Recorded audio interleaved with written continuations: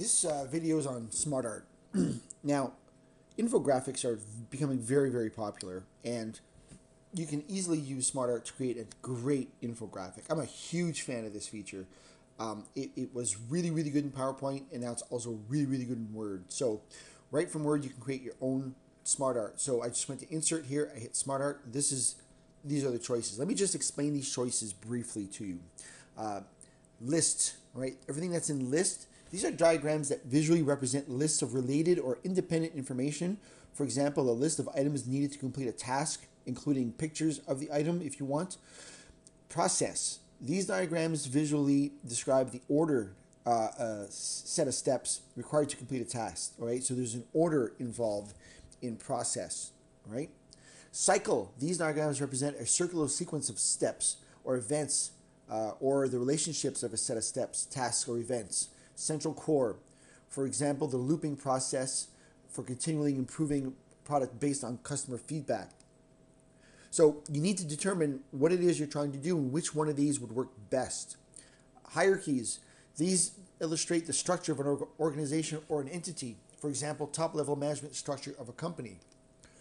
Relationships, a little bit more complex. These diagrams show convergent, divergent, overlapping, merging, or containment elements for example, how similar methods to organize your email, calendar, contacts can improve your productivity.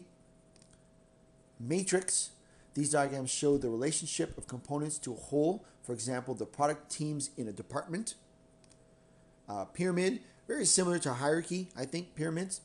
Uh, these diagrams illustrate proportional or interconnected relationships. For example, the amount of time that should be ideally spent on different phases of a project. Uh, there's the pyramid of learning. Um, uh, anyway, all kinds that you can use. I really, really like the picture ones because these you can tell a story and you can have visual representations as well. I'll try to demonstrate uh, some of these. So you just simply choose the one that you want and you'd go with it. So within picture, there's a lot of them that you can choose from.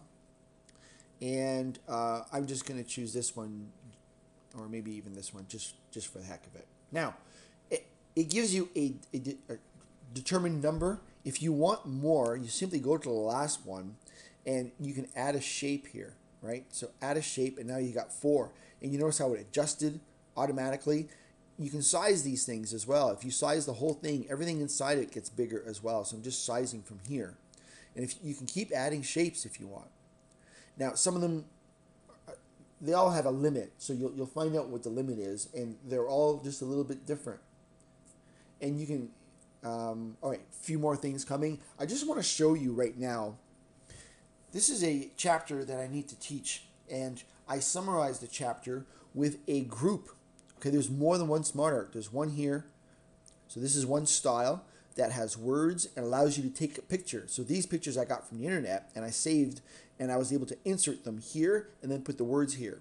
So a picture's worth a thousand words so that works really nice. Here's another style here where you have the title here. Actually, I put in the titles myself. Most of these don't have titles. So I used, um, I simply used word art for the titles. And then these are the smart arts, right? So this is a style here. This is a style here. This is a different style here, right? And again, this one had pictures and words. This is another one. Again, um, that was just a title, but this is what the smart art looked like pictures and words, and more pictures and words. So those are some really neat examples of smart art. And if you wanted to create your own, I've just, I like the color schemes that you can choose from very quickly and easily make this look sharp without having even done anything. This already looks pretty good. If you don't like the style you chose, you can change on the fly, even after you've typed text if you want to and you've got different styles to choose from. Some of them look really good, some of them not so much. I'm not a big fan of these, but I've seen people use them and they made a good job of them. So you determine which style you want. And then you, you simply start telling your story. Now these expect you to put in a picture. And you would load pictures that you have saved somewhere. Now, I don't want this lesson to go on. I gave you a good example of what they look like. So I'm just going to close this as soon as I can here so as to not waste any time, it ends up looking like this, right? And then you type the information in here. So whatever information you need in text, you would type. So I would come in here and I would type uh, text one, right? And then I can type in here text two. Probably easier to type in this area here, text two, and so on. So I clicked in the wrong one. I'm a little messed up here. I missed one. So this would be text two.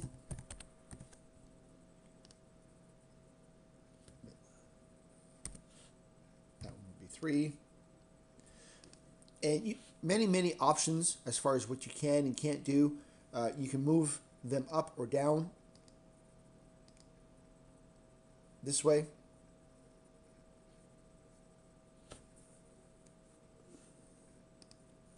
If you want to change the order, if you want the pictures on the other side, that's what this right to left is. Very neat, very easy to do. I want to move this back up, of course, and move this one up.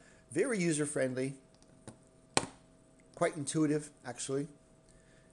If you wanted to delete one, uh, backspace seems to work very nicely right from there. And you see how everything adjusted and sized automatically. You have the ability to change the size of the font if you wanted to. If you didn't like the font that was in here, you would simply select it and change the font.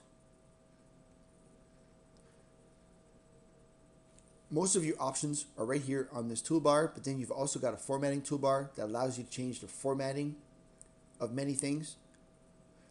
I don't believe that the um, the the test at this level is going to go very deep with this. I might have actually gone a, a little bit deeper than they do, uh, but just understand that you have many to choose from. Some of them have pictures, some of them don't. So understand that they may ask for a certain style, and you need to know you need to be able to find whatever it is they're looking for. Whether it's a list, a process, right? Know the menu. You don't need to memorize the menu. You know where to find it. So once again, here are some examples and what they look like. The um, just so you know, the reason I did this in, in PowerPoint is um, you can animate anything and everything in PowerPoint. So I run this as an actual presentation.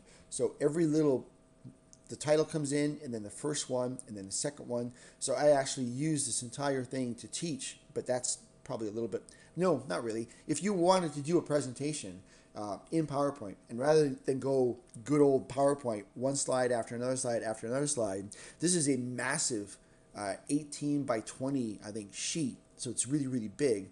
But uh, the idea is I'm running a, a, pro- a presentation and I'm giving information in a totally different way.